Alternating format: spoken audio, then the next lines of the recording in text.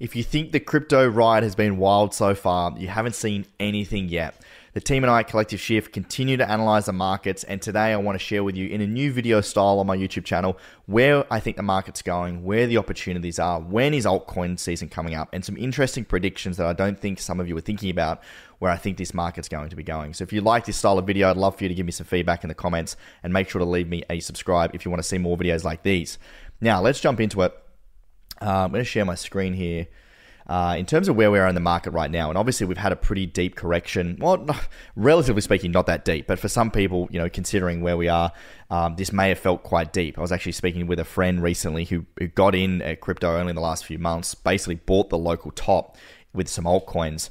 Uh, and was drawing down 45 50% on some of the altcoins like Solana, for example. And I think for some people new to crypto, and I remember when I got back into crypto, you know, seven, eight years ago, though that first cycle, that first bull market, when you get those deeper corrections, you panic. And this friend of mine actually lost forty thousand dollars recently. I said, "How on earth have you lost forty thousand dollars? We've literally been going up for seven months in a row on a monthly Bitcoin chart." And he told me that he bought the basically, you know, a bunch of altcoins. They retraced forty or fifty percent. He panicked and he sold. and I think this is so true for so many new investors and why we get these corrections that people panic. You don't get these blue chip stocks in the stock market world retracing 40, 50% in a bull market. You know, crypto is, is completely unique. And uh, for so many people, they, they think something fundamentally has changed or they think something's wrong with the asset or they think it's going to continue to go down. But, you know, markets are driven by sentiment, narrative, over leveraged traders news and there's been a lot of stuff going on at the moment in the world and and why we're getting these corrections but it's completely normal. I mean in the last bull market we had 13 10% plus corrections and these are amazing buying opportunities and i'll share some of those opportunities that i think are, are good to take advantage of pretty soon but you know, one of the things that we use at Collective Shift to give us an indication of where we are in the market right now is uh, on-chain analysis. And on-chain analysis basically just gives that really good understanding of those movements on the blockchain, who are those holders, who's buying, who's selling. And one of my favorite favorite uh, ratios and, and charts I like to look at is the market value to realized value ratio. Basically, what this chart is showing us in the big in the black line is the Bitcoin price, and the orange line is that that ratio, and it's basically describing the unrealized profit that Bitcoin holders have. And when they start to take profits, that ratio comes down. So, as you'll see back in 2018 on the left hand side, uh, and then also in 2021, I'm just going to move my face here.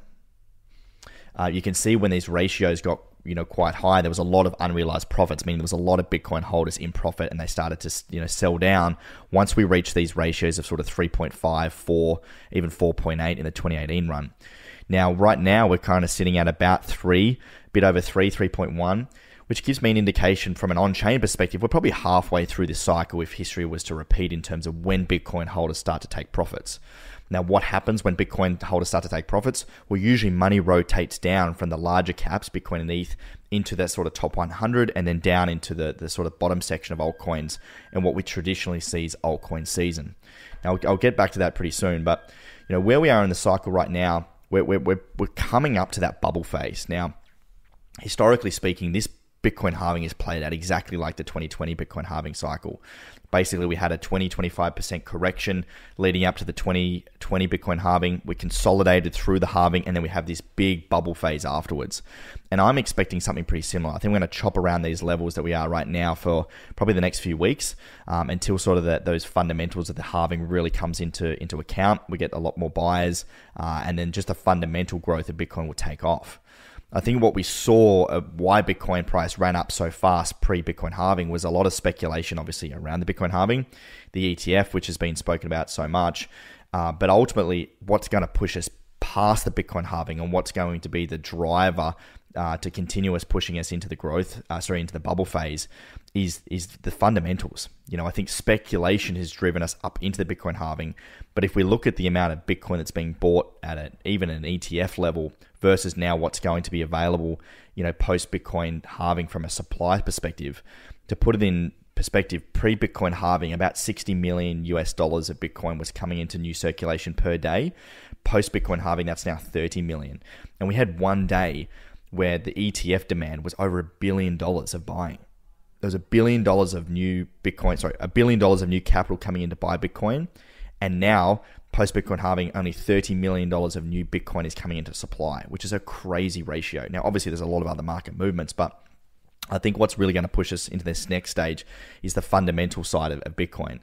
Now, the other thing to note, what's pushed us higher in previous cycles as well, has been the correlation with the central banks printing more money. We haven't seen that this cycle yet. If anything, we've had that sort of quantitative tightening and there's been less money circulating around, which hasn't found its way into Bitcoin. Um, what's happening, you know, it's terrible over in the Middle East at the moment with the war. That's also pushing pressure on uh, the Fed to not cut rates, and we're having another uh, the rate uh, coming out in the first of a rate update coming out in the first of May. You know, we expect they to, them to hold uh, where they are. You know, it's not until we start to see those rates come down and market and money becomes easier to access that it will find its way into Bitcoin. So another thing just to note that I think we're still probably a few weeks, if not a couple of months away from really starting to see us, you know, head into that bubble phase. And ultimately, I think one of the biggest things right now is that what's that next narrative going to be? You know, we've been pushing for that Bitcoin halving narrative for so long. Post Bitcoin halving, what is that narrative? In previous cycles, we had you know NFTs, we had ICOs, we've had AI, we have metaverse. There's, uh, there isn't really that new retail narrative to grab onto right now. What I think will happen is I think Bitcoin will continue to grind higher over time through the fundamental economics of what's going on and the continued buy side pressure. And it won't be until really we get into you know that hundred thousand dollar level when when Bitcoin goes over hundred thousand USD, it gets back in the mainstream media, it gets back into uh, you know social media, and people start talking about crypto and Bitcoin retail investors will come back, they'll get excited about it, and then start to find out, you know, well, what's next? Because retail investors, we know, think Bitcoin's expensive, and they'll start to try and figure out what's that next best thing, and, and then altcoin season will start to kick off. In terms of sentiment as well, to understand where we are right now, like just a basic Google trends, you know, looking at this in terms of the last two or three years, we're still down quite considerably from the peak. Um, even looking at social trends and things like that, you know, we got a lot of euphoria leading up to the Bitcoin halving with the meme coin mania and things like that. But ultimately, it was a lot of bigger wallets. You know, it was a lot of uh, you know folks that have been around for a little while trading crypto. And I was speaking to some exchanges that we're partnered with at Collective Shift, and they were sort of repeating the same thing that we were seeing. There was not a lot of new retail money coming in. It was a, lot of existing capital that was floating around that was you know trading trying to you know um, leverage their positions. Another thing as well that we can see here from a sentiment perspective is just the weekly new YouTube views of influencers' videos. Um, now, I'm not a big fan of crypto YouTube influencers. I mean, some of them are good, but ultimately, you know, a lot of them put out not that great information. But this is where retail investors go. And right now, again, we're, we're down quite considerably from the 2020, 2021 peaks of um, you know YouTube views. So again, another indication to show us that retail investors are not quite here yet. Now, in terms of these drawdowns and these corrections, I think these are magical buying opportunities. It's really hard to buy during these times. Like psychologically, the idea of buying when something's down 20, 30, 50% is really difficult. But we need to zig while the market zags. You know, we need to be in that 10% that is doing the things that most people are not. We've got to remember that 90% of this market actually doesn't make money. We only hear the good stories. So we need to be doing what the opposite are, are doing. And that's ultimately you know the reverse psychology of what your brain's probably telling you. I want to show you a chart here of the last uh, Bitcoin bull market that we went through from the, the COVID lows of 2020 through to the April uh, 2021 all time highs when Bitcoin ran from 8,000 you know to 65,000 13 times Bitcoin went down 10% plus you know at, at some uh, some corrections we had 20% 28% 26% you know these are pretty deep corrections that you know, are quite relative to where we are right now. I mean, Bitcoin pulled back just recently, you know, 18, 20%. This is very normal. And altcoins are leverage positions, guys. Altcoins will over um, over uh, correct on the downside, and they're going to over um, over push up on the on the upside as well in terms of when we get in those euphoric periods. I personally don't trade on the short term. Um, if anything, I you know I, I, might put a trade swing on or something like that. But again, I'm really only doing long only positions, so I like to add to my positions on these on these down periods, and I'll take profits when we get to the later part of this cycle. But ultimately, I don't want to sell too early uh, right now, and I think we are still a long way to go. Now, one of the really interesting things about where we are in, in this cycle is that Bitcoin's really starting to be seen as this risk off asset. So we're starting to. And this is something that, you know, a lot of you probably believe in and I've believed for a long time that Bitcoin will continue to be seen as will continue to grow to be seen as this risk off asset. Like where do you put your money when the, US dollar continues to lose its purchasing power, when the stock market, you know, is yes, it's growing grinding higher, but not even really outpacing inflation. Gold's not outpacing inflation over the last four or five years. Like where are you going to put your money? and Fidelity, one of the largest asset managers in the US, now actually have Bitcoin in their conservative and balanced ETF funds, right? Which is absolutely wild to think that that's actually happening right now. I think that's coming to Australia soon. And I think over time, the consistent demand of, of, of Bitcoin is going to con- continue to grind the price up for Bitcoin. I think the, the level that we'll get to from the foundation of the next bear market will be a lot higher than where we are now. So people thinking about these cycles and getting in out at certain times. Yes, I believe that. But for me, you know, I want to continue building my Bitcoin stack over a long period of time. I think Bitcoin's going to outperform everything. Uh, and I think Bitcoin will be coming to superannuation funds. I think more retirement funds will be getting involved. Um, and if you think about if, if, if people are thinking about Bitcoin as a conservative or balanced investment with a limited supply, like for me, that's just an absolute no brainer. You get these volatile movements on the, in the, in the short term, but the long term, in my opinion, is only going one way, which is super exciting. Now, you know, from a from an ETF perspective as well, we've obviously seen a little bit of a, a, a not a correction, but you know, a slowdown of those funds coming in we've got to think too, guys. A lot of these bigger funds, institutions, uh, sovereign wealth funds, they can't just go and buy something, you know, overnight. For example, they need to go through board approvals. There's a lot of paperwork, a lot of meetings. It can take months and months for sometimes these investments to be approved. The ETF's only been up for three or four months now. Four months. I think over time, as as as this, you know, market evolves and more and more people um, start to, to look at alternative investments, that these ETF inflows will continue to be consistent. And to see, you know, as I said, when you're getting a billion dollar days with only thirty million dollars of new Bitcoin being issued, like it's a it's a recipe for um, you know for growth. And this is that chart on the left hand side here. Sorry, yeah, on the left hand side you can see this was pre Bitcoin halving in terms of the new daily issuance, and post Bitcoin halving we're down to thirty million, which is uh, which is super crazy. Um, again, this was just a bit of sentiment. So in terms of altcoin season, a big question that I get constantly is like, when is altcoin season coming, Ben? When can we start to see our altcoins start to grow? Again, altcoins are driven by retail investors and narratives and money flowing from top to bottom. I really don't think we're going to start to see big movements in altcoin season and still until we start to see money rotating and people starting to sell down their Bitcoin positions. The Bitcoin dominance is a chart that I like to look at, you know, uh, quite often. And at the moment, we're about 53, 54%. In previous bull markets, before we kicked off into altcoin season, Bitcoin dominance got as high as 68%. So I, I think we're going to continue to see Bitcoin. I, I, what I believe will happen will be will be Bitcoin continue to grow, um, more investment coming in, more money, and we hit you know grind towards that sort of hundred thousand dollar level. And as I said, I think that's going to be the narrative that's going to draw retail investors back, and that money start to rotate down into altcoins. Now, a few things I want you to remember when looking at these altcoins and, and figuring out the ones that you're going to invest in and the ones that uh, you're going to stay away from. Um, in terms of just a big common problem, and I, and I hope you guys aren't doing this as, as, more sophisticated investors, but like, do not look at the token price. The token price does not matter. The token price is just an indication of the market uh, cap, you know, um, divided by the amount of tokens in supply. And one of the uh, examples I like to use here, uh, if I can bring this up, this will work great, is Illuvium. So, you know, the reason why we need to look at market cap and the circulating supply, which a lot of people don't, is the amount of uh, new issuance of these projects that are pushing new supply into the market. So if we look at uh, over the course of uh, Illuvium's history, like, you know, this got as high as $1,700, nearly the all time high. It's currently down 94%, right, from its all time highs. Now, arguably you'd be saying, okay, well, like maybe this whole coin can get back to all time highs. Like, what does that look like?